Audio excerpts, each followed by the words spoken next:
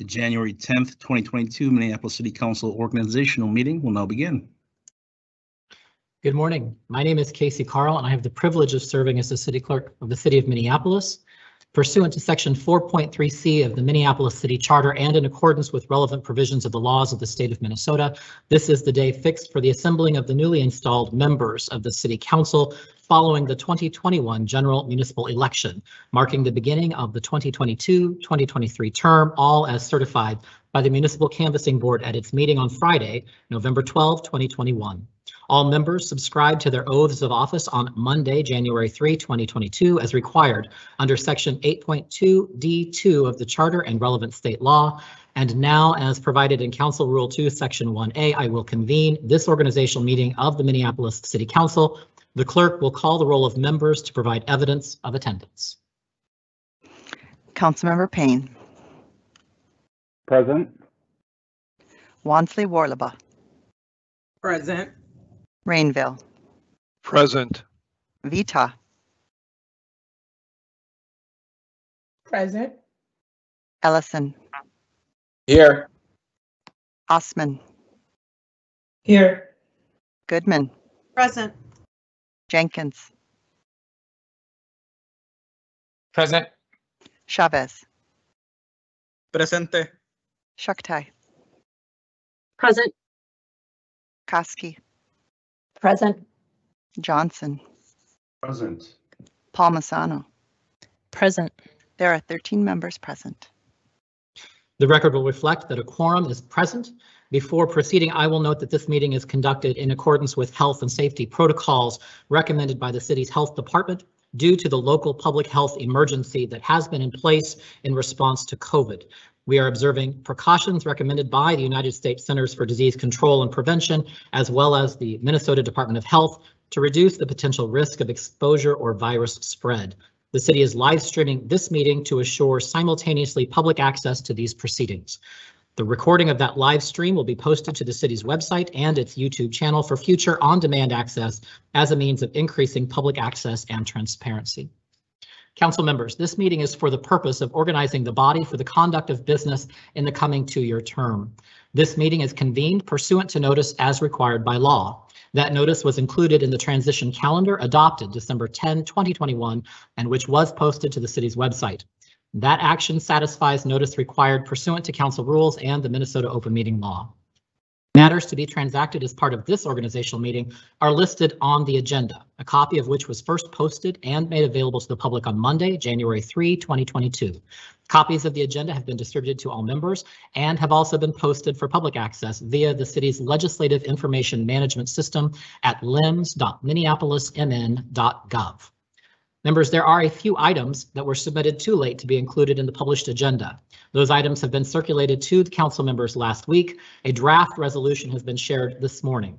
Accordingly, I am asking for a motion to adopt the agenda, which would include, as part of an addendum, a draft resolution related to the existing local public health emergency, as well as three regulations promulgated last week by Mayor Fry related to that emergency.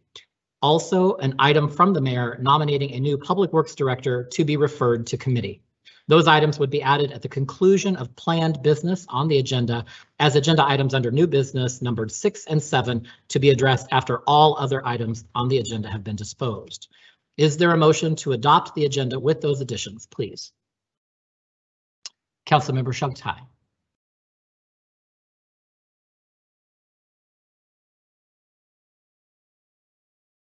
Or Councilmember Wonsley Worlobah, you're in queue. Is this a mo, is this a motion to approve the agenda with the additions?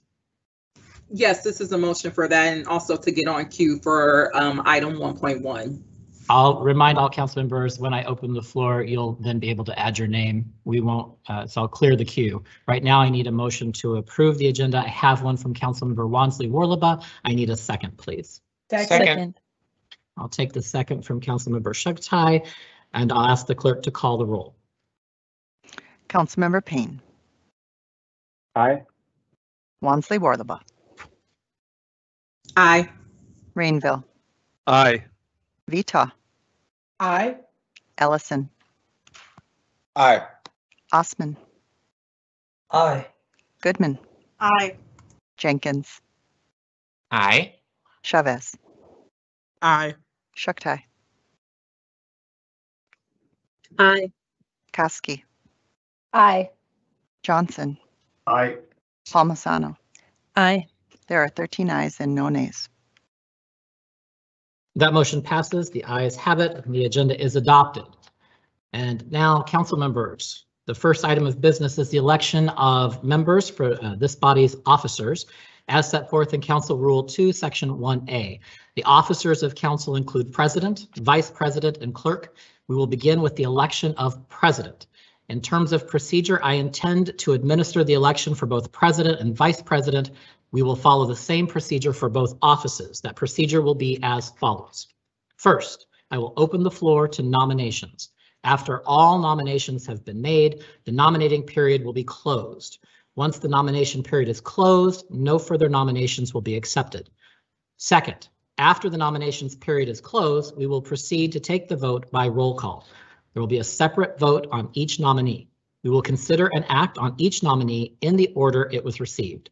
Voting will be done by roll call and the clerk will call the roll in numerical order by wards.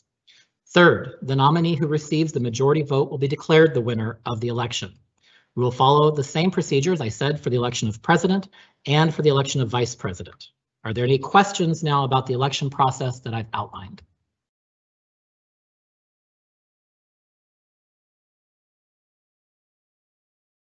There are no questions, so we will move forward now to the process of election of president of city council. And without objection, the floor is now open to nominations to the office of president. Are there any nominations? I think I see Councilmember Wonsley Worlobah in queue. Yes, thank you, Mr. Clerk. Um, I would like to nominate Councilmember Andrea Jenkins for president and Councilmember Elliott Payne for vice president. Councilmember Wonsley Worlobah, but we are taking a nomination for office of president only. So I will separate your nomination and say that Councilmember Wonsley Worlobah has nominated Councilmember Andrea Jenkins, representative of the 8th Ward, to the office of president. Are there other nominations to the office of president? Uh, Councilmember Chughtai is in queue. Mr. Clerk, I'm in queue to speak to the next item on the agenda. Okay, I'm going to clear that out. Uh, We're taking Will I be in queue one at a first, just to clarify? Uh, You'll need to, you'll need to put yourself back in queue when that item is opened up, taking one item at a time. Right Got it. now, we're on uh, nominations for office of president. Councilmember Chavez, you're in queue. got it, thank you.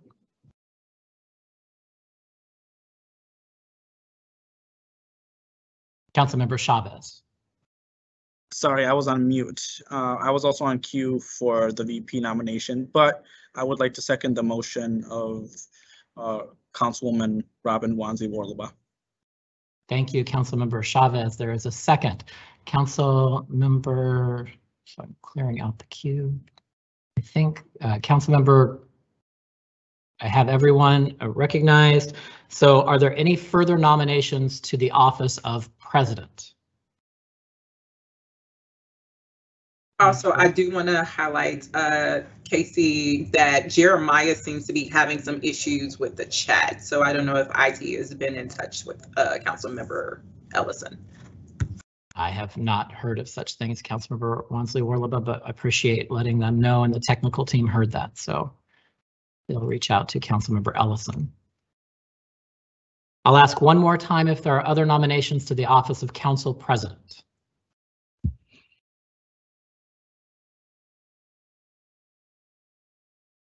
Then before we proceed to a vote, I'll open the floor to just general conversation or discussion. Are there any comments from members on the nomination of Councilmember Jenkins, representative from the 8th Ward, to the office of president? Councilmember Payne. Yeah, I just want to say I'm honored to support the nomination of Councilmember Jenkins as our next county council president. Her thoughtful guidance, creativity, and years of trailblazing are going to inform how our government functions going forward under this new structure. And I'm hopeful we can advance a unified progressive agenda for Minneapolis together.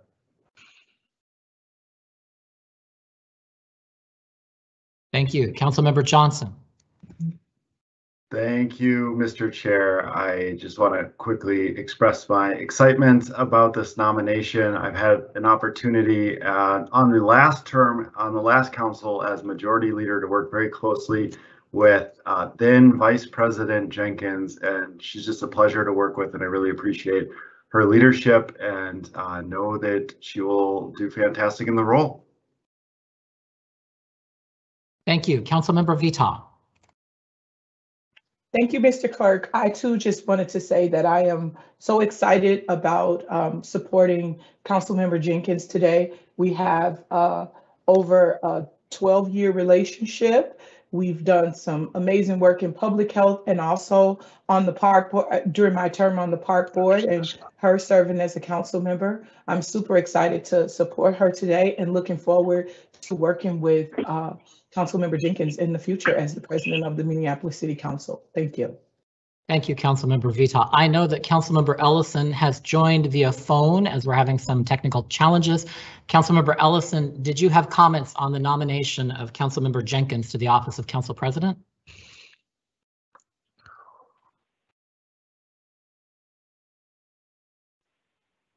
Councilmember Ellison? Uh, sorry, I I, uh, I got booted from Teams, and so I just just called back in. Can you all hear me? We can hear you, Council Member. If you have comments about the nomination of Andrea Jenkins, Council Member from Ward 8 to the office of President? Um, you know, I'm happy to be supporting uh, Andrea Jenkins uh, and this nomination. Uh, just was worried about getting booted from the meeting, but thank you, and I'm back. Thank you, Council Member. I'll recognize Council Member Michael Rainville.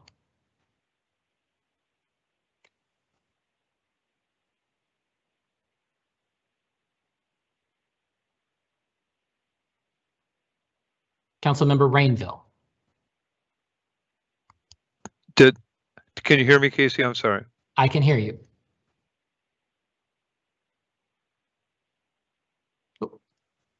You're, you're back on mute, Councilmember Rainville. Okay, There thank you. Kate. Thank you. Uh, Andrea, I will be voting for you and, uh, I just look forward to working with you and I wish you the best of luck and, uh, congratulations. Thank you, Councilmember. Councilmember Osman. Yes, I do want to congratulate um, Andrew Jenkins. Uh, it's, it's been an honor working with you with short time, and I look forward uh, your experience, uh, your leadership, and really excited to be uh, that you you will be the council president uh, in the next coming years. And also, I'm all excited for everyone, everyone new that's joined us on the council. Thank you. Thank you, council member. Council member Chughtai. Thank you, Mr. Chair. I just wanted to congratulate Councilmember Jenkins on being nominated to this office. I know we're in a really exciting moment as a city right now and working on the issues that are most impacting Minneapolis residents, starting with the issue of rent control. I know that's something that she's really excited to work on and partner with with Minneapolis residents and Minneapolis leaders and in making that happen. And of course, it would be last of me to not to, you know not mention this historic moment that we're in with the people of color majority this city council um, and wanting to just make sure that that that um, that's reflected in our leadership. I'm really excited to be supporting Councilmember Jenkins today.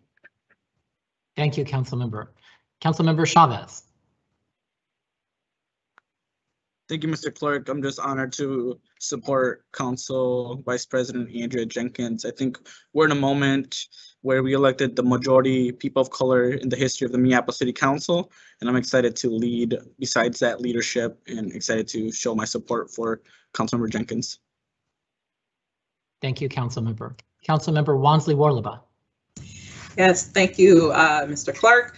Um, I'm also excited to support uh, Council Vice President um, Andrea Jenkins for uh, the presidential uh, seat of our council. Um, I'm really more so excited to collaborate with you as well as all of our council members on some key issues that's facing our city, like a strong 3% rent control policy, making sure we're prioritizing um, public safety measures, as Mayor Fry highlighted today, that are not just, you know, police uh, focused and, and we're going beyond that and also on a number of issues that I know impacts Black and Brown and immigrant constituents that we all um, care about in this city. So excited to dig into some very inspiring, empowering, and and we know at times messy work. So thank you. Thank you, council member. I'll ask if there are any further comments. I believe everyone's had a chance to offer their comments. Are there any further comments on the nomination of Andrea Jenkins, council member representing the 8th Ward to the office of council president? If not, I will close the period for nominations to the office of period. Uh, Council President, I'll ask the clerk to call the roll on that motion.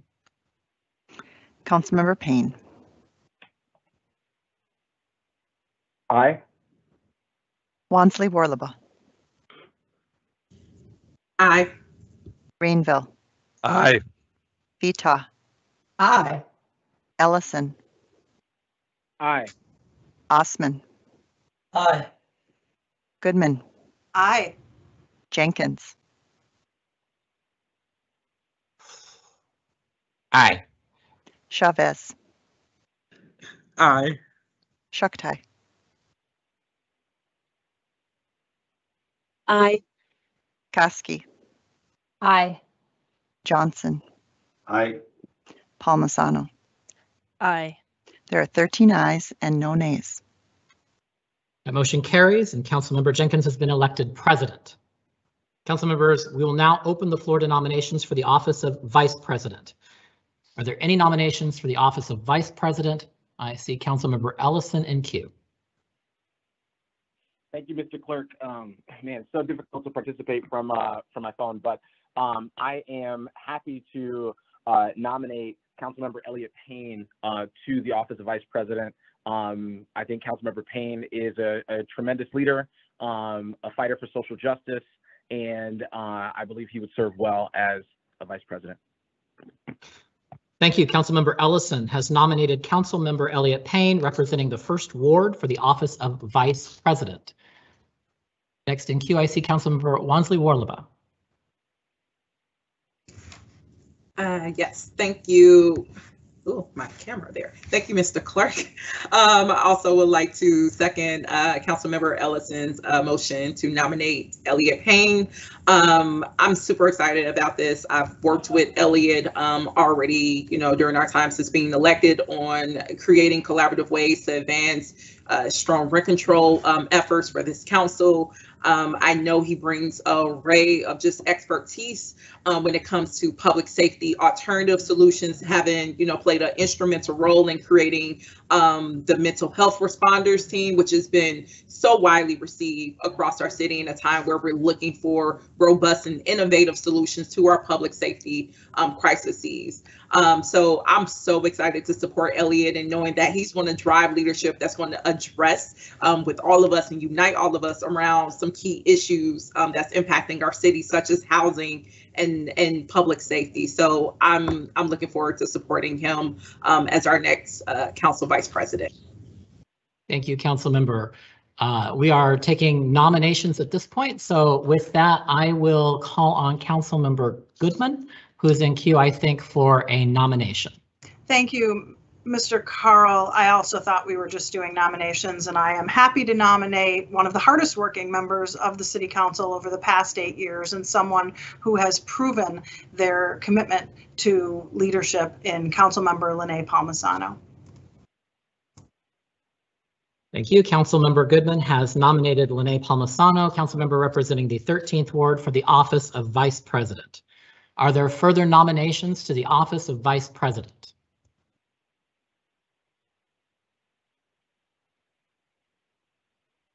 Are there any further nominations to the office of Vice President of the City Council?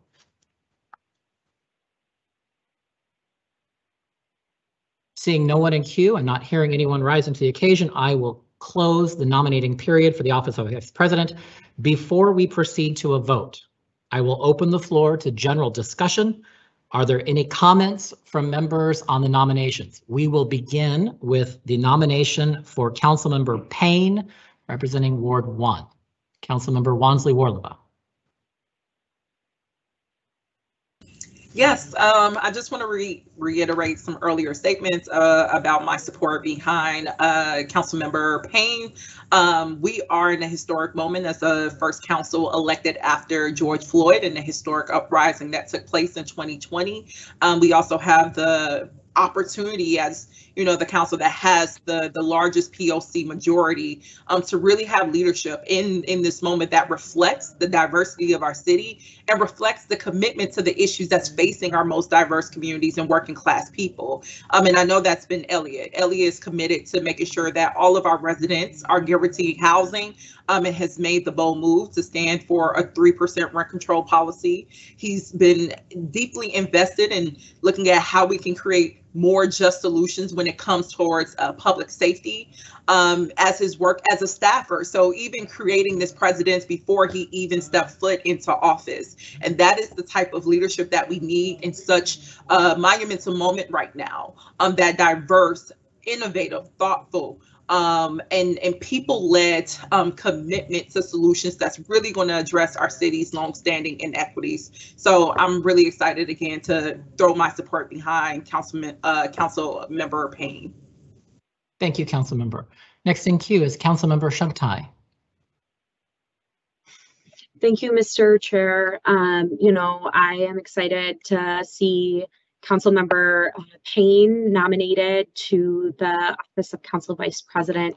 Um, you know, I would agree. I think we are in an incredibly historic moment. And when I was speaking to this for, for uh, Council President Jenkins, you know, we we have uh, a, a, an overwhelming majority now of, of people of color on our city council. And I think it would be incredibly historic to see that represented in um, our council's leadership. And we're in a moment right now where we have um, seven members of this council, a majority of this council that are new like me and, you know, learning how to um, how to lead in this moment. And I think it really matters uh, that we continue in the tradition that we have on this council of, of bringing in first-time council members into leadership and, and elect council um, vice president or elect um, council member Payne as our next vice president. You know, I, I I represent Ward 10, which is a 80% renter community.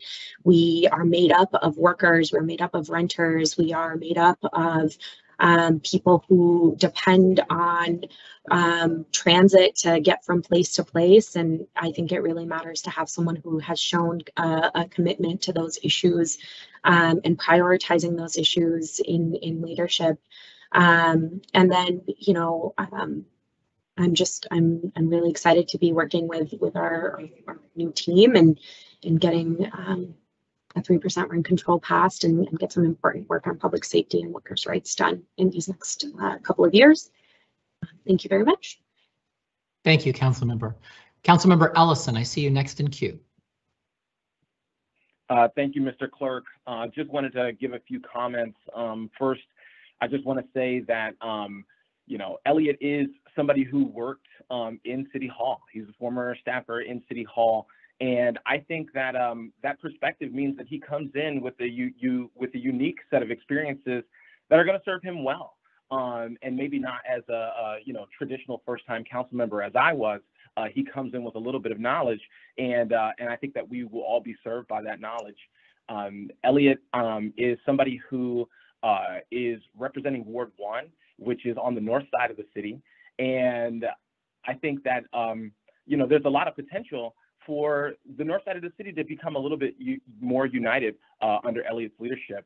I think often people kind of think of, you know, you've got the south side, you've got the north side, and then there's northeast, right? Uh, distinct uh, from North Minneapolis, maybe for, um, for for reasons that we all don't want to acknowledge. And I, I think that under Elliott, um, Ward One's uh, diversity, Ward Four and Five's diversity um, is, is going to be um, really accentuated. Uh, obviously, we share a lot of policy um, uh, similarities, and I'm super uh, excited to work on issues of economic justice, uh, issues of renter protections and rent control uh, to close the home ownership gap.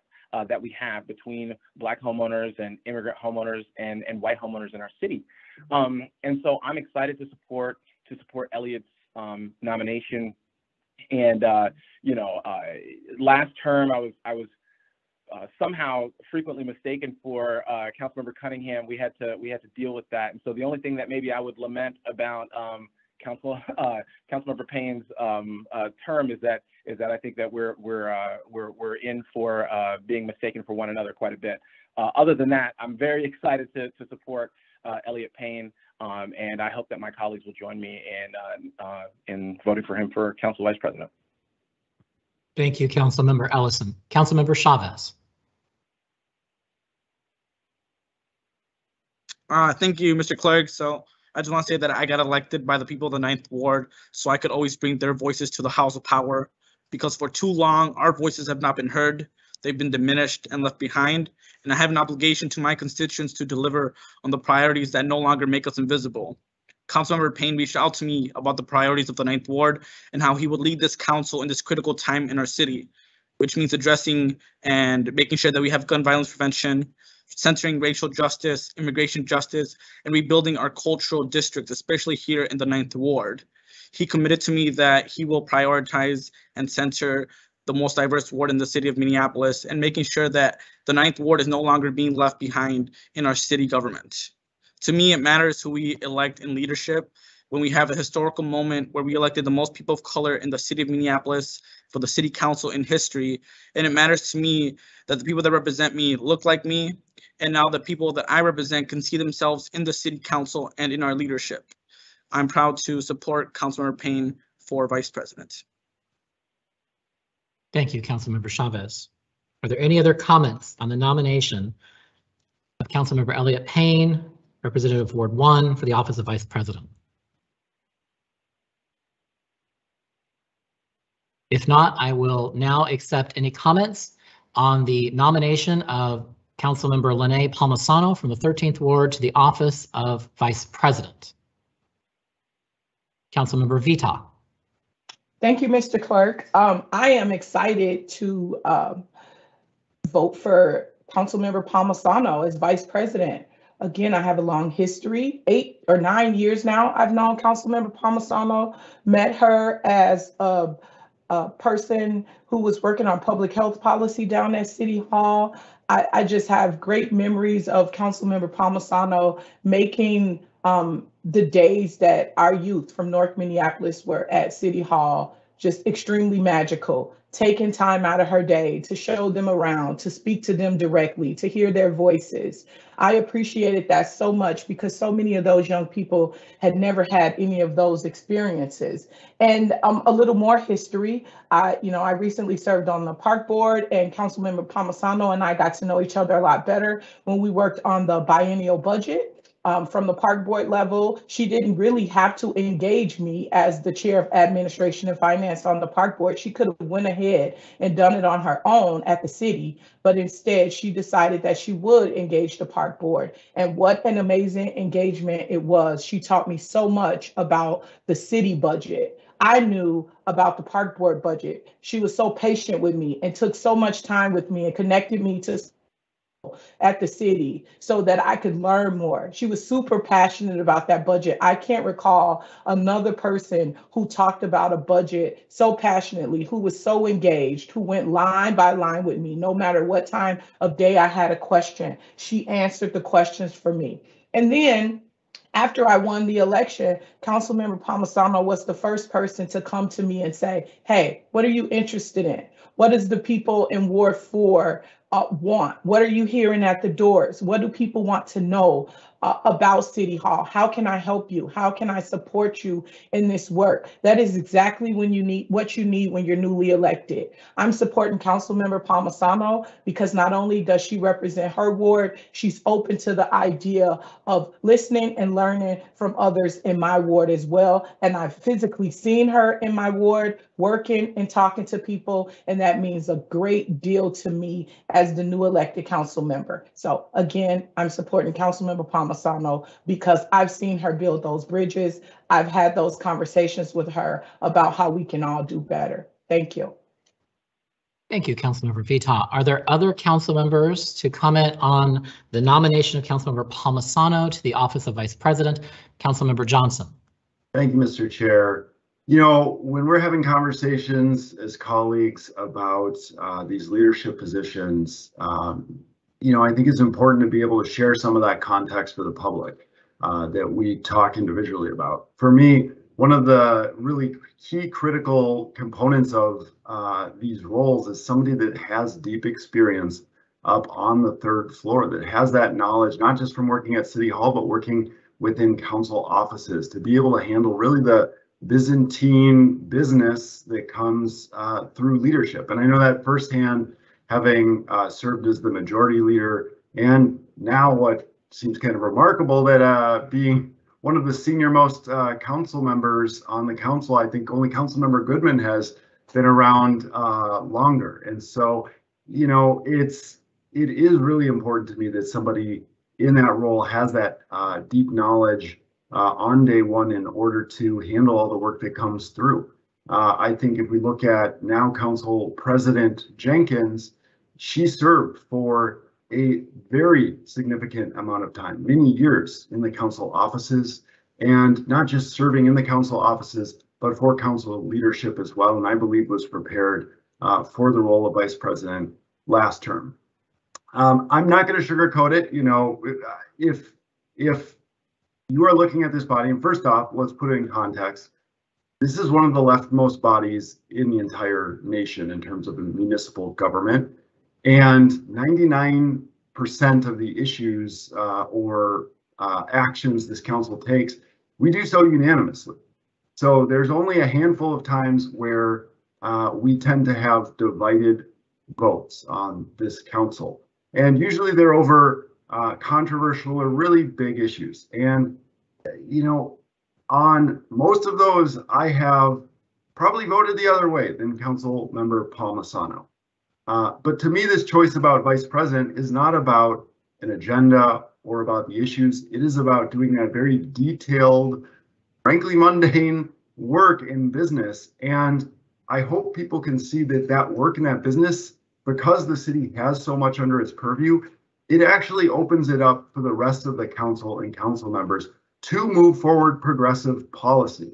And I've seen Councilmember Palmisano do that work through chairing the enterprise committee, through chairing the budget committee, making sure that important things nonetheless, uh, even if they aren't uh, big attention getting issues, get taken care of, even though they're not controversial. That is really important work. She works very uh, hard in that. And I think that uh, because of that, and really considering all the factors, that she will do a good job as vice president. And that's why I support her uh, in this role and appreciate uh, her willing to step up in this moment. And then, you know, as we have had individual conversations with those interested in serving in this role, I really want to say I appreciate her support on, uh, or appreciate her focus on supporting the city council. And I know that's not always easy when we talk about those issues we disagree on. And I have seen her work in a professional manner as budget chair, for instance, working to keep that neutrality to make sure that the processes and the procedures are fair for all council members, even at times where she significantly disagrees with the direction or, or an outcome. I also want to say that I do really appreciate my colleague, Elliott Payne. I'm excited about the issues that he is excited about and looking forward to working uh, with the with him on those everything from racial justice, transformational change in public safety, climate change, affordable housing, helping those that are homeless, and all the other issues uh, that are before us in this really critical moment. And it's through our committees, through uh, the work at committees, that we are able to move that work forward, uh, those agendas forward. And I'm looking forward to his partnership on that as well. Thank you. Thank you, council member. I see council member Payne in queue. Uh, thank you, Mr. Clerk, and thank you, Councilmember Johnson, for those words. I just wanted to uh, echo some of the some of the words that Mayor Frey shared in his speech this morning. Um, the time for politics is over, and the time for doing the work is now beginning. And this is going to be really hard work that we are going to be moving ahead with. This is a very pivotal pivotal moment in our city. Um, we have a lot of unresolved um, trauma, a lot of unresolved, unresolved tensions in our city. And I just am really excited about no matter how the vote works out, that we've engaged in this deeply, that we leaned into these challenges, and we all rose to this moment to really lead for our city. And I just really appreciate the opportunity to be before this body for such a such a monumental vote. I really appreciate it. Thank you, Councilmember. Councilmember Jenkins. Good morning, Mr. Carl. And, um, you know, before I get started with my remarks, I, I do want to just really um, express my deep, deep um, gratitude. Um, I'm, I'm so humbled to um, have the, the support of my colleagues um, to stand in a leadership role on this council. Um, you know, I, I, I really think that um, this election was, and, and many of you have spoken to the issues that are facing our community. Um, and one of the, the issues is the deep divided nature of our city at this moment. And I really think that we as a council have an opportunity to help our community come together, to heal, to understand each other, to really uh, stand in solidarity um, and allyship with each other. And I believe that having Councilmember Palmisano as the the vice president would demonstrate that kind of um, collaborativeness, that working together, that that allyship, that we are all in this ship together, that we all only succeed when we are all at the table. And so consequently, I will be supporting um, Councilmember Palmisano in her bid for um, the council vice president. I I I really um, I think I have absolutely congratulated everybody who I have encountered that stands up to run for public office. Um, it is an awesome um, and thankless responsibility many times. And I so deeply appreciate um, Councilmember um, Payne's um, interest and willingness to serve in this role, as well as Councilmember Palmisano.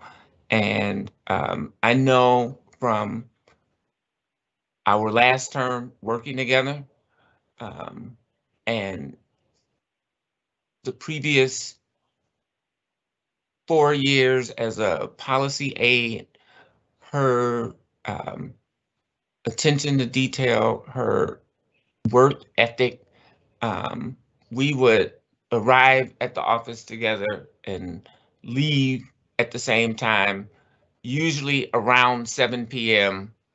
or later, headed out to a community meeting. And so Councilmember Palmisano is a hard worker um, really has uh, a strong understanding of the city budget, city processes, um, and council processes.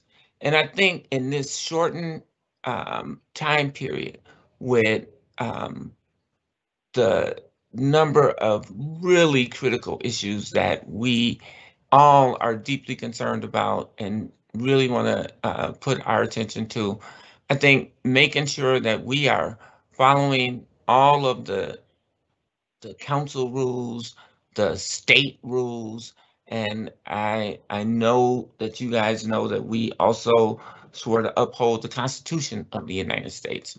And so I want us to be assured that those responsibilities are um, well covered while we work on the the policy issues that everyone has expressed um, deep interest, concern, and, and willingness to get done. Thank you very much. Thank you, Council President. Are there any further comments from council members? I'm Not seeing anyone in queue, not hearing anyone jump in. Therefore, council members, we will move to a vote. As noted earlier in the election procedure, the first vote will be taken on the nomination of Councilmember Elliott Payne, representative of Ward 1, to the office of Vice President. The motion will be to approve uh, and uh, elect Councilmember Elliott Payne, Councilmember from Ward 1, to the office of Vice President. I'll ask the clerk to call the roll. Councilmember Payne, Aye. Wonsley Worlobah, Oh, my camera sucks. Sorry. Aye. Rainville, Nay. Vetaw, Nay. Ellison, Aye. Osman, Nay. Goodman, Nay. Jenkins, Nay. Chavez, Aye. Chughtai, Aye. Koski, Nay. Johnson, Nay. Palmisano. Nay. There are five ayes and eight nays. That motion fails. The next motion is on the nomination of Linea Palmisano, Councilmember representing the 13th Ward to the office of Vice President. So we will take a vote on that motion, which is the motion to elect Councilmember Palmisano from the 13th Ward to the office of Vice President. I'll ask the clerk to call the roll. Councilmember Payne, Nay. Wonsley Worlobah, Nay. Rainville, Aye. Vetaw, Aye. Ellison, Nay. Osman, Aye. Goodman, Aye. Jenkins, Aye. Chavez, Nay. Chughtai, Nay. Koski, Aye. Johnson, Aye. Palmisano. Aye. There are eight ayes and five nays. That motion carries and Councilmember Palmisano has been elected to the office of Vice President. Congratulations to Council President Jenkins, Council Vice President Palmisano, and Madam President, with that, the election has been completed and I will turn the chair over to you.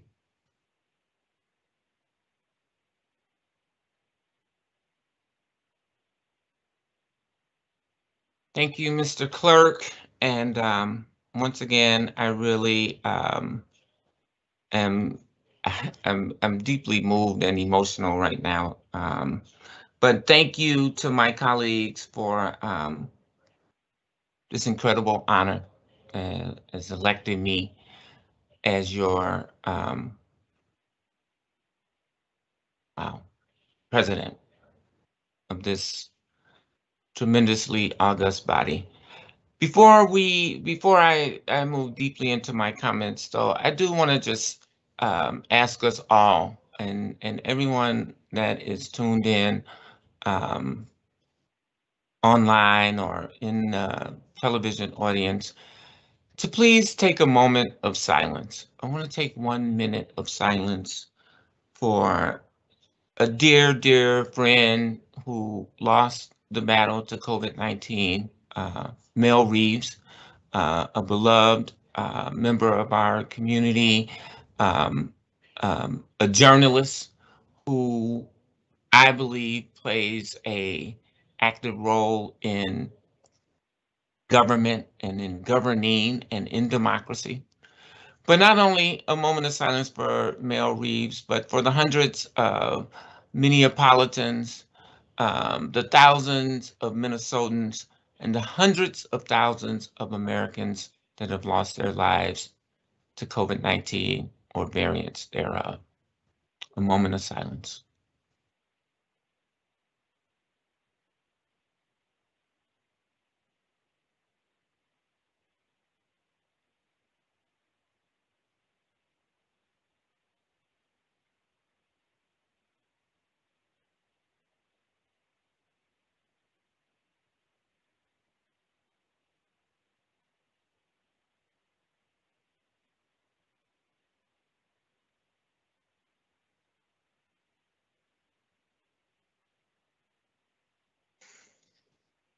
Thank you, everyone. Um, thank you for acknowledging that this this pandemic has um, taken a tremendous toll on us all. Um, it's why we're meeting virtually today, um, as opposed to in person. Uh, but we we will get through this. I also want to take a moment to to make a land acknowledgement and acknowledge that here in Minneapolis, we are on the unceded stolen lands occupied by Dakota, Lakota, Ojibwe, Anishinaabe, and Mdewakanton Sioux, and, and many other um, um, tribal nations. And also that this nation was built by and continues to exploit stolen labor. This is the context that we must remember as we debate these deep issues that are impacting our communities. Colleagues, friends, family, and neighbors, I am so deeply humbled by your continued support of my leadership, of this august body, this body that is reflective of Minneapolis in almost every diverse identifier possible. We represent age diversity, gender balance. In fact, there is a majority of women on this council. Though it is not the first time, there have been many or multiple majority women councils throughout our recent history but collectively, we represent almost all of the most populous ethnicities in our community, sans our Native American community. And that, my friends, puts the onus on us to ensure that that voice, that perspective is authentically in the room. We have Christian, Muslim, Jewish faiths represented. We have API community, Latinx community, African American community, the Somali community, disabled community, speaking strictly for myself, the LGBTQIA plus community, and even more specifically, Black trans women representation, making us a majority people of color city council we are reflective of the entirety of Minneapolis. The Rainbow Tribe, as poet Nikki Giovanni once wrote about. But that, my friends, is not even the most important diversity. Because we represent a diversity of thought, of ideas and solutions to the most pressing issues of our time. Issues like public safety beyond policing, de developing a rent stabilization policy that is fair and equitable and protects the most vulnerable renters in our community. And our voters said that we must restructure our government. We must continue to make our city more accessible for disabled residents and ensure that there are resources for our homeless and housing insecure neighbors. Our streets must be able to accommodate all modes of transportation, prioritizing pedestrians, mass transit, bikes, and then subsequently cars. In other words, we have a whole lot of work to do. When I was growing up in a very working class family on the west and south sides of Chicago. I never dreamed that I would ascend to this level of leadership and responsibility.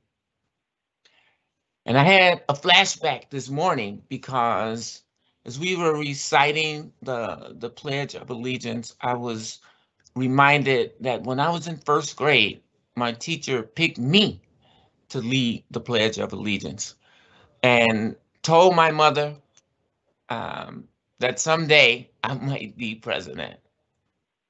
I'm really not sure what she saw, but but that moment has always stuck with me.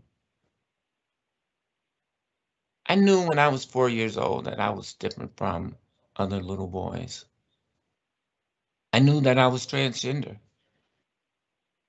even though that language did not exist then. And in an effort towards self preservation, I remained closeted for as long as I could. But at some point, I could no longer be healthy while hiding the most significant part of myself from myself and others who loved and cared about me. So I came to terms with my authentic self.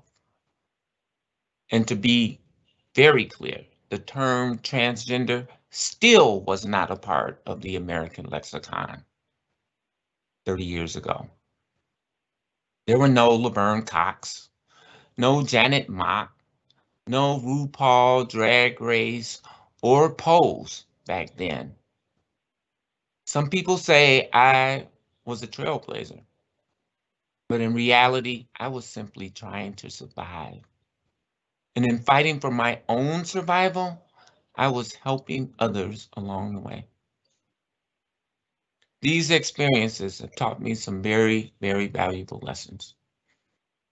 Like when you become comfortable with who you are, others will respect and accept you to the level that you accept yourself. In other words, respect is earned, not given. I learned the value of patience and allowing my family and friends to grow and learn alongside of me.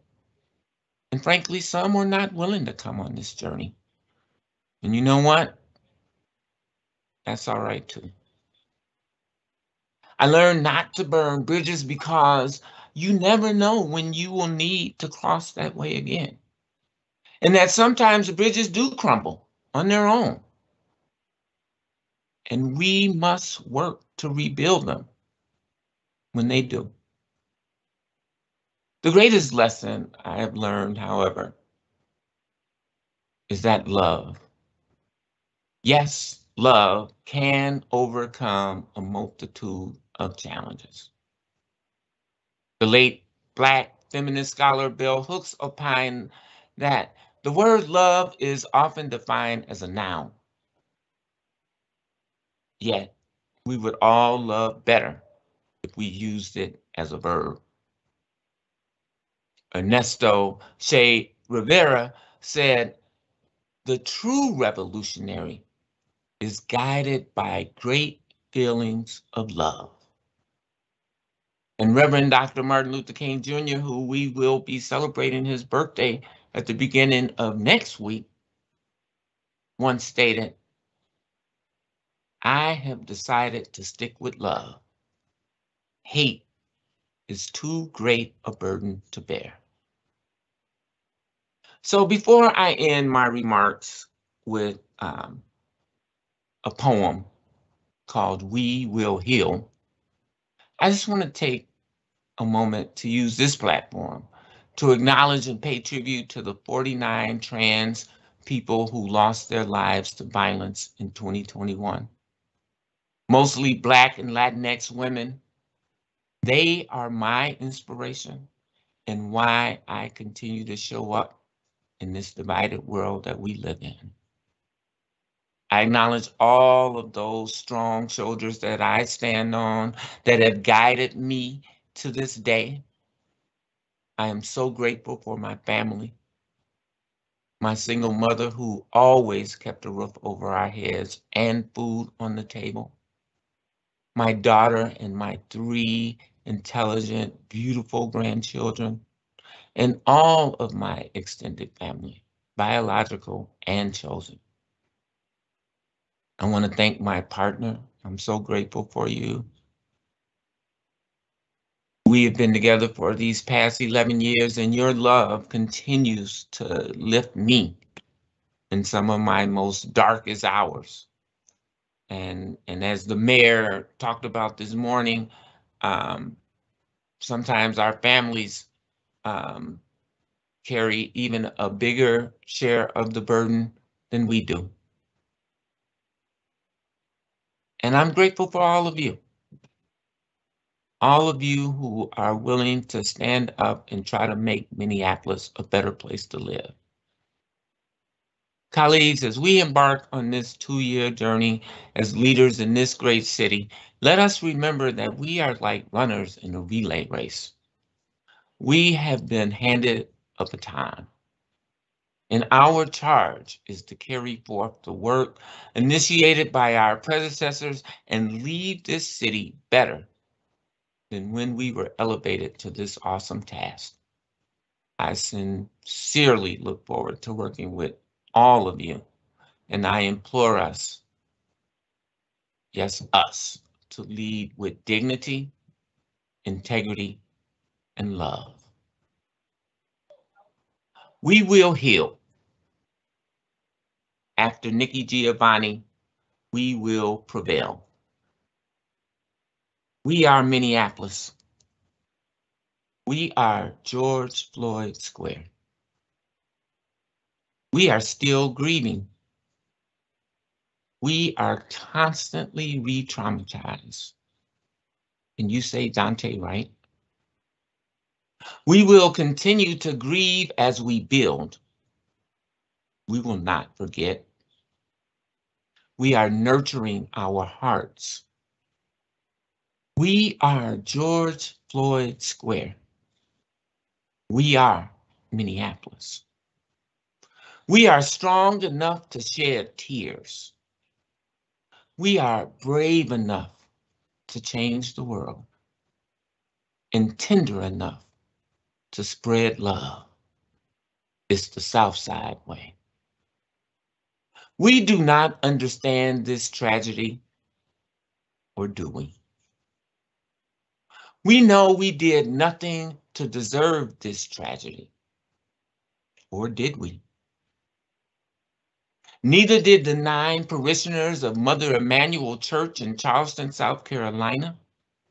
Neither did those Black families still living on plantations in places like Warren County, Mississippi. Neither did the mothers of the movement, Valerie Castile, Gwen Carr, Sabrina Fulton, Maria Hamilton, Lucy McBath, Leslie McSpadden, or Geneva Reed-Veal. And now we add Katie Bryant and Wanda Cooper Jones to that list. At least there was some accountability for the murders of their sons, Daunte and Ahmaud. No one deserves a tragedy. We are George Floyd Square. We are Minneapolis. We are Black Visions Collective, all in for Minneapolis. Yes, for Minneapolis. Neighbors for more neighbors. Justice for Jamar and Justine. Standing up for racial justice and humanize my hoodie. Sprinkled with a little Black excellence. We will reimagine reconcile, and repair the harms of the past. We are stronger than we know, and yet we know we got a lot of work to do. We are skeptical and optimistic, exuberant and pragmatic. We will continue to invest in our youth and the future through the fear and the fury, through the joy and the pain. We are Minneapolis. We are George Floyd Square. We will heal. We will heal. We will heal. We are George Floyd Square. We are Minneapolis. Thank you all. And colleagues, I would like to recognize um, our vice president for some brief comments. Council Member Palmisano, Council Vice President Palmisano. Thank you, Madam President. First, I'd also just like to set a tone. Uh, we are one city. My interest here is to help provide that glue and our decorum of respect and working together, even when we are in disagreement, will lead us to great places. Our chosen president, Andrea Jenkins, will be that guide. Madam President, I look so forward to working with you together this term and in, in this new way. Thank you for all of these words you just spoke. I didn't think we would have a unanimous vote today on the item of officers, and that's all right. We can still come up with a shared agenda. We can disagree, but it's how we disagree and stay in the conversation that is what is incredibly important to me. I think that um, the officers' vote today represents our community. Our community is divided, and the election last November, as the president mentioned earlier, clearly showed that. We are 13 different wards and even more different perspectives, but we're one city, and we will treat each other with respect and learn to govern together in our one city. We will see each other for who we are and not who pundits want to make us out to be or demonize us to be. We come from different places and different parts of our community, but we are one city. It's okay that every vote that we will take this term won't be unanimous. Frankly, today's votes were just being honest, and we still can keep working together.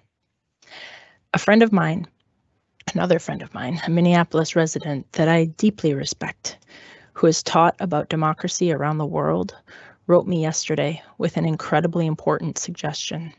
She said, if there's anything you could do that would fill me with joy this next term, it would be to break the rock hard coalitions that form and then persist on the city council, as well as in most of politics.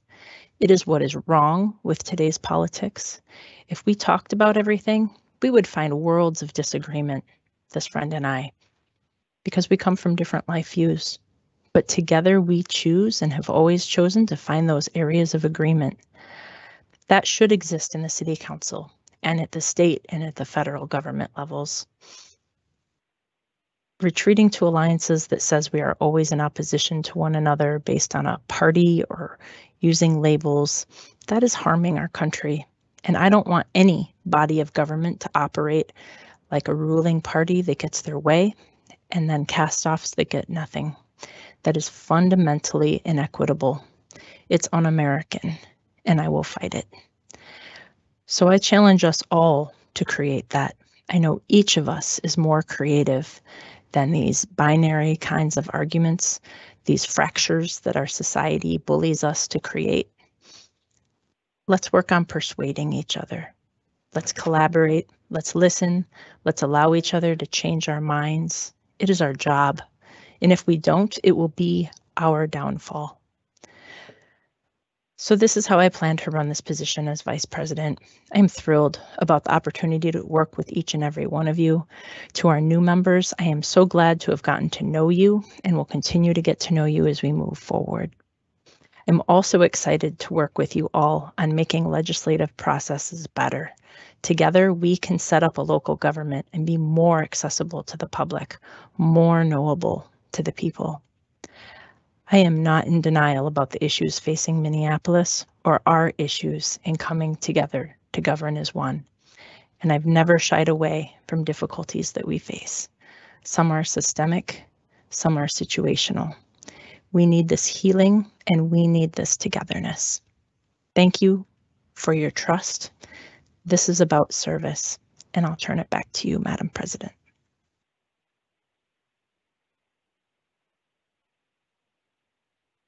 Thank you. Thank you so much. And um, I am truly looking forward to uh, what this term is going to bring on behalf of our residents at the city of Minneapolis. And with that, colleagues, we will now return, we will now turn to the remainder of our agenda. Uh, the clerk's office has prepared a, a packet that includes the various resolutions and motions that are associated with each agenda item, which you should have. There are a total of five items under new business, which are numbered in your packets as NB one through NB five. Then there are three ordinances, uh, ordinance introductions listed as IRC one through three. Uh, I will take a moment to recognize uh, Councilmember Goodman and then subsequently Councilmember Payne. Uh, Thank you, Madam President. I was just interested in moving item to the appointment of the city clerk. But I'm certainly happy to wait until you explain that if you would prefer. Um, well, we do, we, so we have a motion on the floor, um, to, um, appoint the city clerk, uh, Mr. Casey Carl. And I will, um, well, before I ask for a second, uh, I am going to, um, ask Council Member Payne, are your comments related to the nomination or, um, Uh, Thank you, Madam Chair. I had a question for uh, Casey Carl about rescinding my substitute proposal uh, on item one of new business.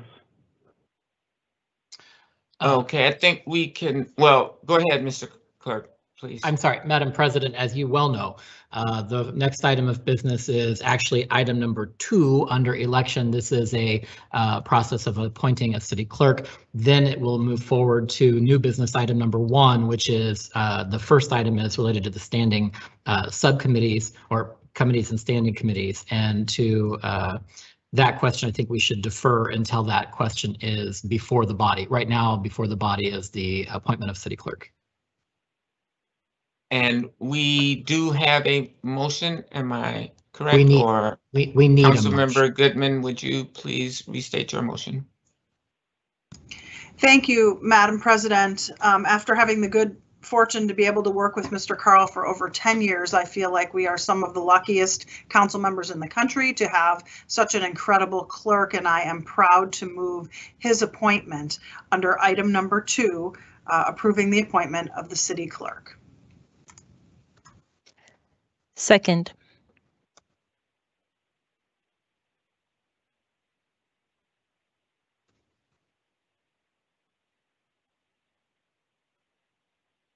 Madam Thank you both. President. We, thank you both. We now have a um, proper motion and second. And um, I was on mute, so thank you, Mr. Clerk. Um, But colleagues, just for clarification, the city charter gives the council sole power to appoint the city clerk. The clerk is the secretary of the municipal corporation, is responsible for administering elections and managing corporate information assets, and also serves as the body's clerk and parliamentarian. Um, and, um, you know, I, I just want to acknowledge, um, again, on this council, um, the extraordinary efforts that, uh, Mr. Carl, as the clerk, and the clerk's team um, in managing our elections process, managing all the data and information of the fast moving actions of our councils that sometimes don't always um, coincide with the um, the wishes and desires of the clerk, but we we managed to get it done. And I just wanted to take a moment to recognize and and thank uh, you, Mr. Clerk, and your staff for those incredible efforts. Um, and I will recognize um, Councilmember Ellison.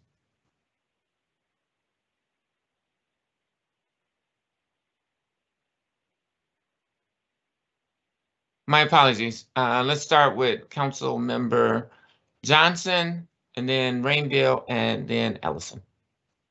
Thank you, Madam President. And here, here on your words uh, for the clerk and the clerk's team. I mean, they uh, keep the trains running truly at City Hall and literally facilitate democracy and our transparency for the public and make this job possible. And I know they work long hours, many weekends, and it is a fantastic department. Uh, uh, in no small part because of the leader at the top of that department, Casey Carl, who is just a pleasure to work with and offers fantastic advice and makes the whole show happen, the whole thing happen. And Casey, we're truly lucky to have you uh, and fortunate to have you in the city of Minneapolis because you don't just serve this council, you serve the people of Minneapolis, the 430,000 plus residents. And it is truly a service. And I, I, I think it, for us, we are very lucky to be able to really understand and appreciate um, just how much of a service that is. So thank you, thank you, thank you for all the work you do and your team does. Uh, it is a Herculean effort and it is greatly, greatly appreciated and makes a tremendous difference.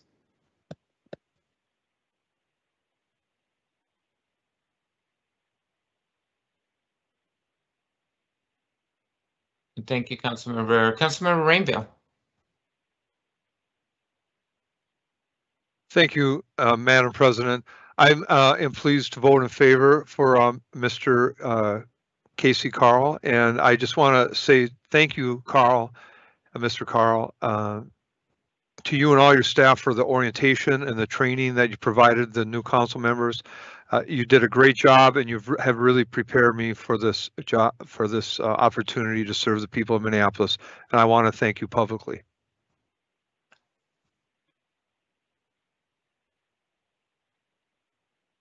Councilmember Ellison. Thank you, Madam President. Um, I just wanted to commend the uh, clerk's office for all of the tremendous work that they do, um, not only in um, helping the enterprise uh, along and facilitating that, but also uh, in uh, running our elections in particular. Uh, not only do the clerks run the elections, but I also want to highlight that in this pandemic, the early vote center has also been at times used as a place for people to get vaccinated or a place for people to get tested. And so we really see the clerks going above and beyond. And I don't think that um, Mr. Carl intended to be a um, public health official when he first entered into this role. Um, but in the many ways that this moment is calling on us to do things outside of our purview, uh, certainly Mr. Carl's team um, has has stepped up, and uh, it, it it's a it is a um, uh, tremendous talent to know how to put together such a good team. So um, I'm happy to uh, be in support of this motion. Thank you, Councilmember Ellison. And um, yeah, we have a pretty big election cycle coming up this year. So um, glad to know that we have an amazing team to, to help guide us through and um, as Councilmember Johnson noted, continuously uh, upholding democracy in our community. Um, Council Member Payne and then Council Member Vetaw. Thank you, Madam President. I just wanted to say that uh, you know, as somebody who's worked at the staff level in City Hall, I know all too well how complex this organization can be. And I just want to say that as now an elected official, it is so clear how much hard work goes into making this city function and be as transparent as possible. And I celebrate uh, Casey Carl and all of his efforts, and even in getting prepared for this meeting, just the level of dedication and passion and commitment that uh, Mr. Carl shares for this work and for the city of Minneapolis is just really inspiring. So I'm happy to support this nomination. Councilmember Vetaw. Thank you, President Jenkins. I am so excited to um, support the nomination of Mr. Casey Carl. This experience has been great because we're being prepared for it. I had not factored in that we would have um, a month of orientation, and I am so grateful for it. I am so excited about uh, the days to come because I feel prepared. I feel like I have a team of people there to support me, to guide me, to mentor and help. So thank you to Mr. Uh, Carl and the clerk's office. They do a wonderful job and they do it, you know, in, in such a loving way. They they smile, they, they're happy to do the work. There's not a lot of um, complaining, at least not in your face. Um, so thank you all so much for the wonderful work you've done so far, and I'm super excited about working together. Thank you, Madam President. Next, we have um, Councilmember Wonsley Worlobah. Thank you, Madam Chair. Um, I just want to say um, I'm also excited to support uh, Casey for uh, clerk again. Um, I think I'm the only one here who has the distinct privilege of uh, being elected three times to my position um, of city council. And I am so just at all at how Casey was able to pull together the elections team to create such a fair and democratic and just smooth process. And that's just been um, extended throughout um, all of our council, you know, activities such as orientation and even the trainings that we all had the uh, privilege of participating in this week. Um, so looking forward to supporting Casey and just want to say thank you for all that you've done th- thus far. Great, thank you, council member. And it doesn't appear that we have anyone else in queue and we have a motion and proper second, so I will ask the clerk to call the roll. Councilmember Payne, Aye. Wonsley Worlobah, Aye. Rainville, Aye. Vetaw, Aye. Ellison, Aye. Osman, Aye. Goodman, Aye. Chavez, Aye. Chughtai, Aye. Koski, Aye. Johnson, Aye. Vice President Paul Palmisano, Aye. President Jenkins. Aye, There are 13 ayes and no nays. That uh, motion carries and Mr. Carl has been appointed city clerk. Congratulations to you, Mr. Carl. Uh, It truly is a pleasure um, uh, serving and working alongside of you and um, look forward to, to, to great things to come. Colleagues, the first item of new business is a resolution establishing our operating structure for the coming term. This is item NB1 in your packets. Uh, Under council rules, the president uh, appoints council committees subject to the vote of the body. Therefore, I am introducing a resolution that creates a system of standing and special committees to support our work as reflected in your packets. Um, The resolution establishes each standing and special committee, the, its leaders and memberships of each committee, the quorum, the dates of regular meetings for each, and the summary of the subject matter jurisdiction for each as well.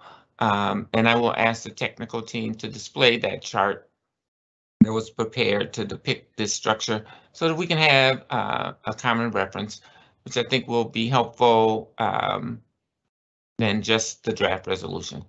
And I do want to just take a moment to thank uh, Council Vice President um, for, um, you know, really connecting with all of the council members to really try to understand where people's uh, interests, where people's um, experience um, and um, energy lies to try to help come up with this um, this resolution. So thank you, Councilmember uh, Palmisano. Can we see the structure? Yep. And um, as you can see, I'm proposing to retain this basic, the basic standing committee system that we adopted um, as a as a means to really respond to the COVID crisis in our community and that we're still dealing with. Uh, I think the system worked really well, and I believe that um, it will be a solid foundation for the expanded work of this body with addition to special committees and subcommittees and working groups to address um, some of the issues that we have been um, very, very deeply concerned about. For the record, I will state that the standing committees I am pro, uh, uh, proposing includes the following. So a business inspections, housing and zoning committee or BIZ led by Councilmember Goodman as the chair with Councilmember Osman as vice chair. Uh, the members of this committee would include Councilmember Rainville, Ellison, Chavez, and Chughtai. This committee will provide oversight for business licensing, permitting, and regulatory functions, housing and housing policy, land use and zoning policy, and related administrative and quasi-judicial functions, and community and economic development matters. A public health and safety committee led by Councilmember Vetaw as the chair, with Councilmember Payne as the vice chair. Members will include Council Members Wonsley, Worlobah, Rainville, Ellison, and Palmisano. This committee provides oversight for public health and human service and human and social service programs, including civil rights, immigration and refugee affairs, environment and sustainability initiatives and programming, and community engagement, and will also be the committee that addresses public safety functions and public services, including but not limited to emergency management, response, fire and emergency medical and police and safety beyond policing initiatives and programming. A Public Works and Infrastructure Committee led by Council Member Johnson as its chair, with Council Member Koski as the vice chair. Members will include uh, Council Member Payne, Wonsley Worlobah, Vetaw, and Chughtai. This committee provides oversight for all aspects of our community's infrastructure grid to the broadest sense, including public works, the built environment, and those functions and services upon which the city builds, develops, and operates, etc., as well as broadband capacity and information technology as a part of that grid. We also have a standing policy and government oversight committee which will be led by Council Member Ellison as its chair, um, with Council Member Wonsley Worlobah as the vice chair. Members will include Council Members Vetaw, Chavez, Koski, and Johnson. This committee provides oversight for all aspects of general government operations not otherwise assigned to a separate standing committee which is largely focused on enterprise management functions and includes elections. Finally, the Committee of the Whole, which as stated in our rules, is chaired by the Vice President, Councilmember Palmisano. Councilmember Chavez will be the Vice Chair of this committee. All committee members are part of the Committee of the Whole. This body primarily acts as a board of review for all reports and recommendations by the standing and special committees prior to any formal action by the full council. The Committee of the Whole will also have two important subcommittees as a part of its structure, which includes the Race and Equity Subcommittee that I will chair and the Government Structure Subcommittee that Vice President Palmisano will chair. Both subcommittees will meet at the call of the respective chairs to address business as necessary. For my newer colleagues, I would like to just explain that the purpose of standing committees is to review, to refine, and recommend actions for consideration and action by the full council. I believe that focusing on smaller number of standing committees, we can add in the flexibility in our schedules for other forums to allow council to address new and emerging and future focus items and so that we can incorporate more time to work um, in our wards and to interact with our constituents. This structure will allow us to, to pursue further opportunities that represent the priorities and needs of the community through service on external agencies and organizations. And I believe that it presents us all with a win-win opportunity. It places um, uh, significant responsibility, um, I believe equally throughout the organization and that and allows everybody to contribute to these conversations moving forward. In addition to these standing committees, I'm proposing two special committees to have very focused jurisdiction. These are the Budget Committee, which would be led by Councilmember Koski, and the Intergovernmental Relations Committee, led by Councilmember Johnson, these special committees include all council members in their membership so that all council members have an equal voice in the issues that are addressed by these special committees. And finally, in addition to the standing and special committees, I'm also performing, proposing that we form working groups to address some of the issues. Um, I'm sorry, colleagues, to address some of the issues um, that are uh, more significant, long range, and important policy issues before us. Those include rent stabilization and public safety uh, reform. And so these working groups would include council members, the mayor, members of the public, key representatives from operating departments in the city's administration so that we can come together, collaborate on developing policy proposals and um, and then introduce that work through our standing committee systems. The purpose of these working groups is to give us, as city elected leaders, the space to do the heavy lifting, involving community uh, members together to create these important policy proposals that are tailored to meet the unique needs of our communities and constituents. And that will take lots of work energy resources that are in addition to and outside of our regular two-week committee uh, cycles.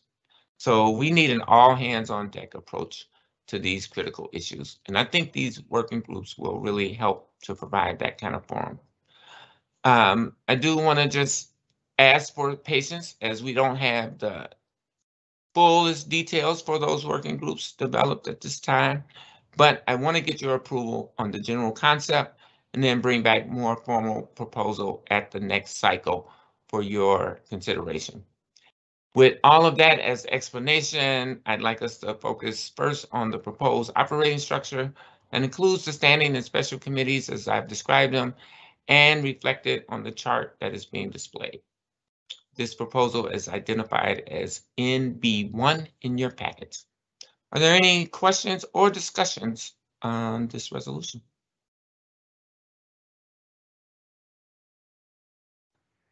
Councilmember Palmisano. I just wanted to make that motion. So moved. Thank you. Um, is there a second? Second. We have a uh, proper motion and second. Is there any discussion? Is there any discussion? Seeing none, I will ask the clerk to call the roll. Oh, I'm sorry, Council Member uh, Wansley Ward Laba. Thank you, Madam Chair, and I'm sorry if I missed this component. Um, did you share uh, what criteria will go into selecting um, that you know diverse set of constituent and stakeholder groups for the rent control uh, work group? Thank you for that question, uh, Council Member. I did not share, and um, we will be developing the details of that work. Um, and you're certainly invited to have input in, in the development of that. But no, I, I did not share how, how that is going to completely play out.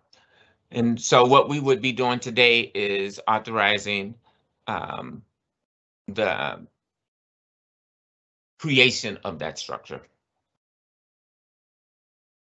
Does that help? Yes, thank you for that clarity. Yes. Uh, Councilmember Chughtai. I'm so sorry um, to derail this, but uh, just a quick question um, on a, as a follow-up to um, Councilmember Wonsley Worlobah's question. I'm just wondering what the um, what the timeline will be to figure out the details of the work groups, and I'm wondering, um, like, will we approve the criteria that we create uh, for you know members of that of those of those work groups the timeline on which they have to you know meet and get their work done will that be approved by council will that go through committee and make its way i'm just trying to make sure i, I understand exactly what we are voting to approve and what the next steps will be Sure. So we're voting to approve a general concept of working groups to address these issues. Um, we will then, in the next two-week cycle, um, develop what that process would be, what the criteria uh, would be, and and hopefully we can figure out what the membership will be. And then um, we, yeah, that would be our structure, and we would um, vote on that um, at our next committee meeting. And I would invite, um, so I mean, if that helps, we can move on to the next uh, council member, or did you have more questions, council member Chughtai? Uh, just can i if it's okay i'm happy to get go back in Sure. queue if that's e- okay um i i my just follow quick follow-up on that is uh, i I know you said in the next two week cycle we will figure out what the logistics look like will we will that happen through committee? Will that happen? But will you be doing that in consultation with us and with a, a- lot of partners i'm sure? But who is moving this in the next two week period? Will we you know like is it going to go through biz and then cow and then council or? No, we will, we will have these conversations um, about the working group as a ad hoc. I will be conferring with um, staff, with council members um, to, to try to fill in the details of, of this proposal. thank you madam chair You're very welcome. Uh, Councilmember Johnson. Thank you, Madam President. And I want to piggyback off those comments and just say I appreciate uh, this being brought up in this meeting and the questions that were asked around this. And I appreciate the urgency around this issue and uh, in diving in and developing out the details. And my personal hope that we uh, have something that can be on the ballot uh, this fall. Thank you. Thank you. Are there other comments, discussion? Seeing none, I will ask the clerk to call the roll. Councilmember Payne, Abstain? No, they're not Councilmember Wonsley Worlobah,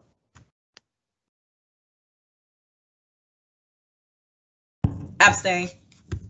Councilmember Rainville, Aye. Councilmember Vetaw, Aye. Councilmember Ellison, Abstain. Councilmember Osman, Aye. Councilmember Goodman, Aye. Councilmember Chavez, Abstain.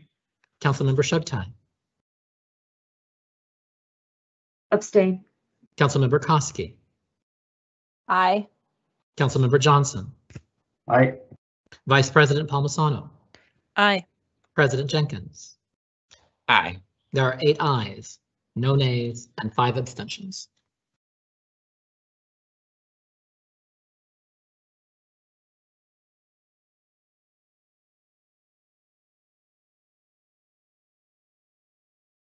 So that item carries. Um, and the resolution establishing standing and special committees for the council for the coming term has been adopted.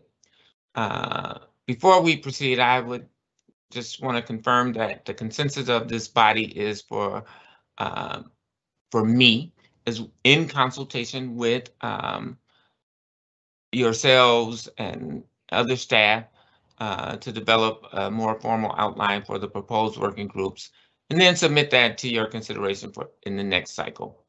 If there are no objections, um, I will assume that I have your approval to move that work forward. Is there any discussion? Councilmember Johnson. Thank you, Madam President. No objections on this. I think it's just something uh, for the public. And obviously, I know you would do this and I know that you're aware of this, but just um, that I know it won't be with a quorum of committee uh, members that you have this discussion and that you're just going to talk with um, some key council members. And so I appreciate the leadership of um, colleagues that I'm sure will confer with you on those specific details. Thank you. Thank you.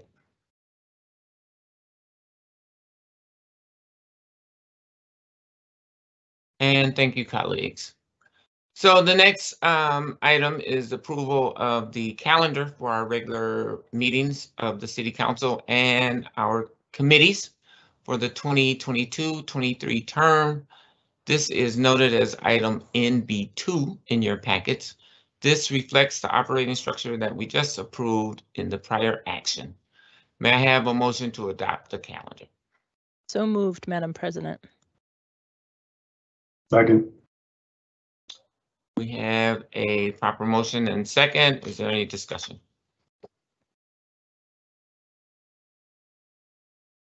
Is there any discussion? Seeing none, I'll ask the clerk to call the roll. Councilmember Payne, Abstain. Councilmember Wonsley Worlobah, Abstain. Councilmember Rainville, Aye. Councilmember Vetaw, Aye. Councilmember Ellison, Abstain. Councilmember Osman, Aye. Councilmember Goodman, Aye. Councilmember Chavez, Abstain. Councilmember Chughtai, Abstain. Councilmember Koski, Aye. Councilmember Johnson, Aye. Vice President Palmisano, Aye. President Jenkins. Aye. There are eight ayes, zero nays, and five abstentions. That motion carries. The calendar of regular meetings has been adopted. And we will further direct the clerk to publish and post the calendar as public notice of all of these regular meetings as required under the Minnesota Open Meeting Law codified under Minnesota statutes, sections 13D.04, subdivision 1. Our next item is a resolution affirming and ratifying the council's rules of order for the coming term. This is noted as item NB3 in your packets. May I have a motion to adopt that resolution? So moved, Madam Chair. Second. Uh, we have a proper motion and second. Is there any discussion?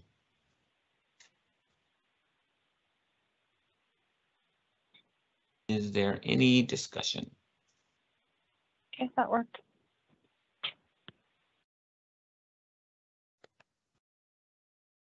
Seeing none, I will ask the clerk to call the roll. Councilmember Payne, Aye. Councilmember Wonsley Worlobah, Aye. Councilmember Rainville, Aye. Councilmember Vetaw, Aye. Councilmember Ellison, Aye. Councilmember Osman, Aye. Councilmember Goodman, Aye. Councilmember Chavez, Aye. Councilmember Chughtai, Aye. Councilmember Koski, Aye. Councilmember Johnson, Aye. Vice President Palmisano, Aye. President Jenkins. Aye. There are 13 ayes. That motion carries. The rep, um, and the rules have been affirmed and ratified for the coming term of the city council. We will further direct the clerk to update as appropriate and publish and post the rules and to provide copies to all council members. Uh, Colleagues, the next item is the resolution which establishes a plan of succession for the offices of mayor and council president as required under the city charter, council rules, and the relevant provisions of our municipal code. This is listed as item NB4 in your packets. May I have a motion to adopt that resolution? So moved, Madam President. Second. We have a proper motion and second. Is there any discussion?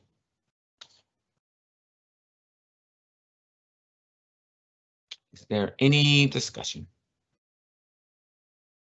Seeing none, I will ask the clerk to call the roll. Councilmember Payne, Aye. Councilmember Wonsley Worlobah, Aye. Councilmember Rainville, Aye. Councilmember Vetaw, Aye. Councilmember Ellison, Aye. Councilmember Osman, Aye. Councilmember Goodman, Aye. Councilmember Chavez, Aye. Councilmember Chughtai, Aye. Councilmember Koski, Aye. Councilmember Johnson, Aye. Vice President Palmisano, Aye. President Jenkins. Aye. There are 13 ayes. That motion carries and the resolution establishing a succession plan has been adopted. We will further direct the clerk to file that plan with the relevant offices for continuity of government and emergency operational functions. The next item is the appointment of council members to the audit committee. This is listed as NB5 in your packets. And I will ask the clerk to provide a brief explanation about this proposal since it involves a temporary matter pending further action on the voter-approved government structure amendment to the city charter. Mr. Clerk, would you please provide that explanation? Thank you, Madam President. As this body is aware, and the Council President just noted, voters did approve a change in the government structure uh, by charter amendment in November, transitioning to an executive mayor and legislative council form of government. As part of that amendment, the council is required to establish and appoint an independent audit committee. The composition of that audit committee is dictated under the charter amendment. Prior to that charter amendment, however, the council had previously established an independent audit committee by ordinance which is codified under section 17.90 of the municipal code. There are some conflicts between the new charter provisions and the existing code. Therefore, this body will need to amend the code provisions to bring us into compliance with the new charter mandate with respect to that audit committee. While that work on a new ordinance proceeds, the existing audit committee continues in force to provide continuity in the city's audit function and its oversight of the internal auditor. So this is a necessary temporary action to ensure continuity of government operations.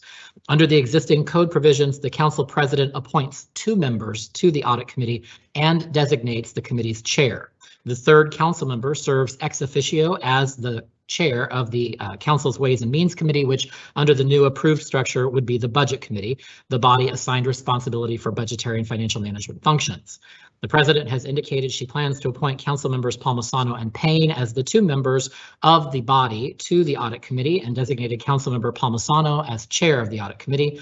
As budget committee chair, council member Koski serves automatically in the third council seat on the committee. I estimate that staff will be prepared to bring forward a draft ordinance within the first quarter of this year for consideration and final action of the council. That ordinance would then provide for the alignment between the new charter provisions and the existing code in order to reconstitute the audit committee as well as the internal structure, operation, and functions of the new Office of City Auditor. That it completes my explanation, Madam President. Thank you, Mr. Clerk. Um, and um, are there any questions um, for the clerk? Seeing none, um, I, I'm presenting my appointments to the audit committee as reflected in items NB5 in your pockets. This is not an action of the full body, but appointments made by the council president. So I'll congratulate those members who have been appointed to the audit committee. Uh, encourage the audit committee to move quickly on recommendations on how to restructure that independent body to align with the new government structure that has been approved by the voters. And that completes our um, action on items listed under new business on the agenda. The next step that the next um, item that we will take up is introduction of referral calendar. Here are three items before us listed in our packets as IRC 1, 2, and 3. Um, these are routine ordinance introductions to be referred to proper committees. These actions are included in every organizational meeting as a means of expediting the noticing and referral of these routine matters coming um, during the coming term. This action essentially opens these chapters to routine reoccurring actions. I would like to take one vote on all three of these introductions. Therefore, I will first ask, are there any questions from any members on any of the three referrals?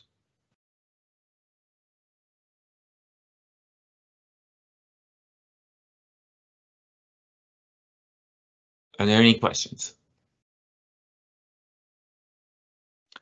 With that, I will call for a vote on all three referrals at the same time. We have listed the chair of the respected standing committees as the authors of each of these uh, separate motions as a courtesy, which is um, a tradition, and the clerk will call the roll on that motion. Councilmember Payne, Aye. Councilmember Wonsley Worlobah, Aye. Councilmember Rainville, Aye. Aye. Councilmember Vetaw, Aye. Councilmember Ellison, Aye. Councilmember Osman, Aye.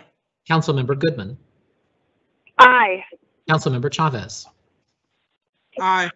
Councilmember Chughtai, Aye. Councilmember Koski, Aye. Councilmember Johnson, Aye. Vice President Palmisano, Aye. President Jenkins. Aye. There are 13 ayes. Thank you, and um, that item carries. Colleagues, that completes the organizational business for our meeting. We do have addendum items that were added as amendments to the agenda noted by the clerk. These items are submitted by the mayor and pertain to his nomination of a new Public Works Director and to some emergency regulations tied to the city's existing public health emergency. I'll ask the clerk to present each of these um, items for us and to provide the context of the action that is requested um, of the council. Mr. Clerk? Thank you, Madam President. As you said, Mayor Frey has taken several actions with respect to the ongoing local public health emergency, which was first declared in March of 2020. This past week, the mayor issued three new emergency regulations and also requested that the council take action to extend the date of the existing emergency, which is set to expire February 13th. Under applicable state and local laws and policies, the mayor may proclaim regulations under a declared emergency, which are in force for a period of not to exceed 30 days. The council, however, may extend and continue those emergency regulations by formal action. Thus, it has been our continuing practice throughout this emergency period to bring forward all of the mayor's emergency regulations that are proclaimed and to have those ratified and extended by formal action of the city council so that each of those emergency regulations continue to apply throughout the duration of the declared emergency period. Staff have therefore prepared a draft resolution for council that would achieve this objective. That resolution numbered 2022R-004, uh, which was circulated earlier this morning, is proposed to extend the period of the city's local public health emergency. It also ratifies and extends the three emergency regulations that were issued uh, just last week by Mayor Frey. For the record, I will summarize those three regulations. Regulation number one reestablishes a mandate for masks or facial coverings to be worn in all indoor public locations. This regulation became effective January 6th. Regulation number two enables local businesses within set parameters to temporarily expand their premises for operations. This regulation became effective January 7th and is to continue for a period of not to exceed 45 days after the declared emergency period does expire. And finally, regulation number three, which updates the city's existing vaccination and testing policy and which became effective on January 7th. Madam President, that completes my summary of those items tied to the city's existing local public health emergency and emergency regulations. I'm happy to respond to questions. Otherwise, it would be in order at this time for the council to take action on the draft resolution prepared by staff. Thank you, Mr. Clerk. Are there any questions?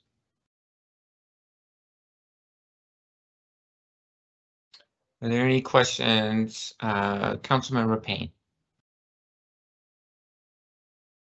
Thank you, Madam Chair. I just had a question for item number two. Uh, Would this be the formal appointment? And would that happen in lieu of any public hearings or uh, opportunities to have deeper conversations? Or is just this accepting the nomination? Um, this is actually, um, taking the mayor's nomination and forwarding it to the appropriate committee for a public hearing. And that committee would be the Public Works Committee, um, chaired by, um, Councilmember Johnson and which you are a member of. So yes, we will have a public hearing and a very public process on the nomination of number two. But we are, um, talking about the emergency, uh, declaration at this particular moment. Uh, are there any questions about the mayor's emergency declarations at all? Uh, No, Madam President, thank you. Okay, thank you.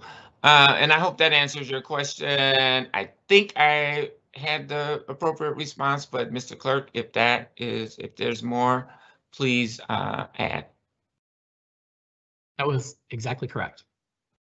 Thank you. And so, um, are we? So we're prepared to vote on a voting- motion Mhm, to approve the resolution that is related only to item number one on your screens, the COVID emergency declaration and regulations. Thank you. Um, so I called for questions on, uh, addendum number one. I will ask one more time. Are there any, is there any discussion on item number one? Seeing none, I'll ask the clerk to call the roll. Councilmember Payne, Aye. Councilmember Wonsley Worlobah, Aye. Councilmember Rainville, Aye. Councilmember Vetaw, Aye. Councilmember Ellison, Aye. Councilmember Osman, Aye. Councilmember Goodman, Aye. Councilmember Chavez,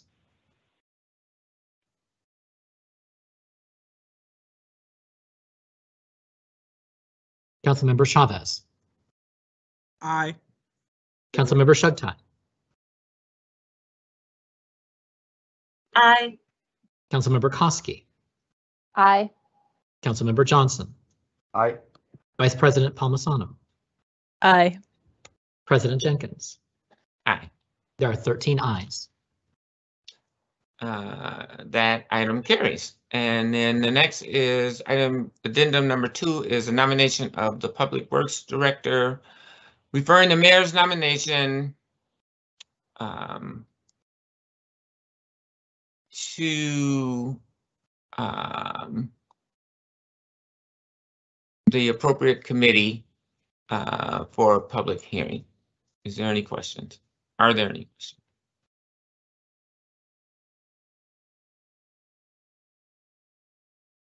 Are there any questions? Seeing none, I will ask clerk to call the roll. Councilmember Payne, Aye.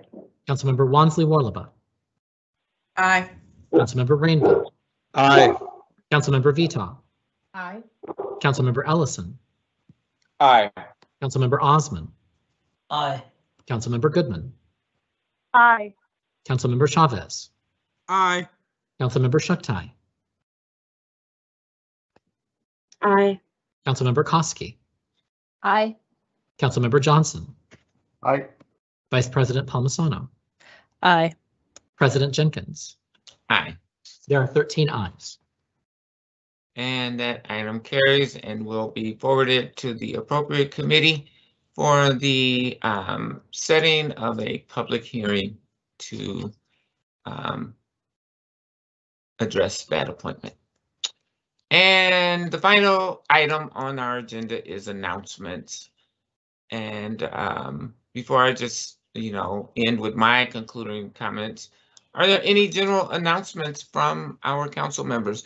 And just for clarity, announcements can be events that are occurring in your um, community, uh, in your ward, in the city generally, um, other items of import that you think are important for the residents of Minneapolis to be aware of. For example, um, this coming Monday, we don't have any more public meetings, but will be the birthday of um, one of the most influential Americans, um, in my estimation, ever, uh, Reverend Dr. Martin Luther King. Um, and though I don't think we need an announcement on that, but I, I do think it's important to acknowledge that on this body. Council member uh, Wonsley. Worlobah.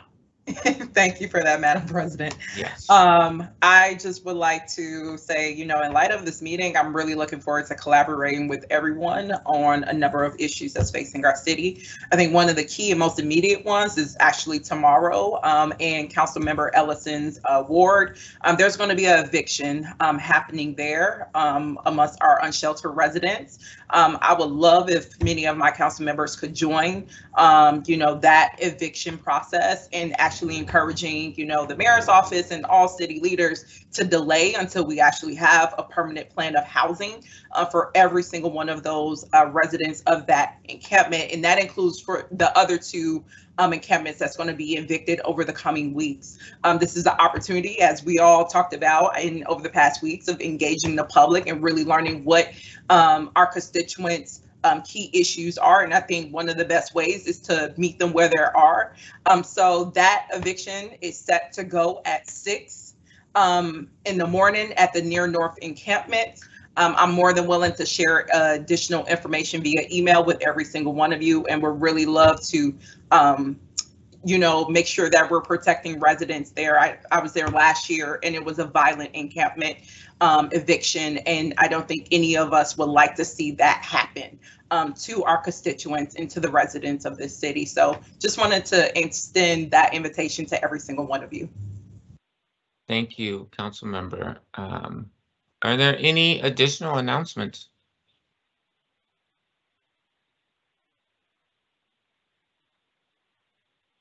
Um, seeing none, that uh, completes all the items on our agenda for our organizational meeting. Before we adjourn, I do want to just repeat my deepest, most sincerest, and humblest appreciation to each and every one of you for what is truly an honor. Um, you, you, um, you fulfilled my first grade teacher's uh, fantasy of me becoming president. Um, and um, I know that my mother is is very very proud as well. So so thank you all. I just want to reiterate how excited I am to get started with you on the work that we will um, no doubt accomplish together. We have so much to do, and I'm confident that working together we will achieve great things. So let collaboration, cooperation, community be our constant guides in this work. Together in our partnership with the mayor and the city administration, I know that we can be successful. Um, finally, on behalf of the entire city council, I really want to just um, reiterate what I think has already been shared, and that is our deepest uh, thanks, appreciation, and gratitude to all the staff that has helped to plan, to organize this meeting, uh, as well as the entire inauguration ceremony today, as well as last Monday. And I, I know if I tried to go down the list and name everybody, I would uh, really miss all of the people who have contributed. But just know that um, we know and we recognize all of you who have contributed mightily, including our own staffs um, that have stepped up and helped to serve as guides, as um, as just organizers. I mean, I was reading my emails last night, and the team from Ward Nine put together an amazing um, visual for how to attend the inauguration today. And so it's things like that that that really um, show the the collaborative spirit that this council um, exhibits and um, the the efforts of the employees and the staff at the city of Minneapolis. So we just want to especially shout out the mayor's office, the clerk's office, and and and that team, as well as our incredible teams from the communications, finance, and property services, information technology, the city coordinator's office, and everyone who came together to make um, this day special, not only for us as city council members, but for our families who have traveled um, near and far to, to be with us, to celebrate, to encourage us, to support us. And so thank you, thank you, thank you. And with that, colleagues, we have completed all of our business for today. It has been quite a long day. And I will note for the public that the first cycle of our regular meetings begins on Tuesday, January 18th. And the first regular meeting of the full city council is set for Thursday, January 27th at 9:30 a.m. I will see you all there, um, shiny and and ready to to move our city forward um, in this uh, next iteration of the Minneapolis City Council. Without injection, I will adjourn this organizational meeting and I uh, hope that everyone has a really amazing week. And with that, colleagues, we are adjourned.